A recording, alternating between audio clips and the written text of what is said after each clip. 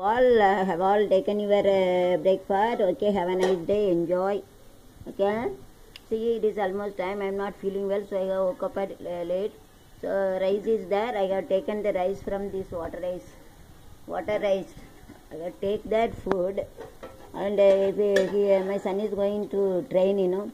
So if it is water rice sambar if i use the sambar is uh, consists of more water na it will fall down from that tiffin box. So the other day there will be little water you know so other people they started to fighting on that day. Because it was very rush in a train you know even if you keep their cover also you cover two or three cover if you put it it will be fallen down. So what i have doing is so just I have to use this spoon whole spoon.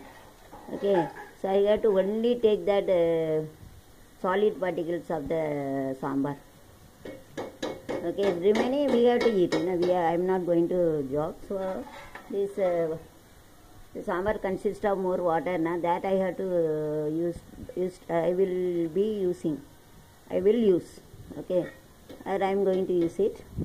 So what I do only that uh, solid particle of that uh, solid part of that sambar and solid part of the uh, rice I have uh, taken then I have to mix it. This is one technique and remaining you know if it is water rice uh, even though we are not feeling well we can use that uh, that rice with the soft rice water you know it is very uh, useful. அதாவது நேராயிட்டு உடம்பு தெரியல நேராயிட்டு வேலை பார்க்க முடியல. அதனால இப்போ தண்ணியாக இருக்க அதில் உள்ள சா சாப்பாடை மட்டும் எடுத்துக்கிட்டேன். சாம்பாரில் உள்ள அடியில் உள்ளதை மட்டும் எடுத்துக்கிட்டேன். எடுத்து மிக்ஸ் பண்ணி வைக்கலாம். என்ன? ஏன்னா ட்ரெயினில் போகவே அன்றைக்கெலாம் கொஞ்சம் தண்ணியாக இருந்தாலே வடியுமா?